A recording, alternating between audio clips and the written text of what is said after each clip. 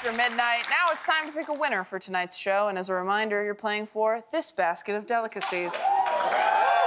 Who knows what's in here? Before the break, I showed you this photo. And I asked you to write computer generated poetry about it in the style of Kellen Online's invention. Let's see what you wrote.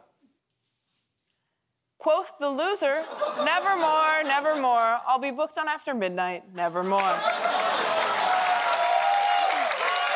It's a good one. It's A good one. And answer number two. Roses are red, violets are blue. Echo lost. Boo who.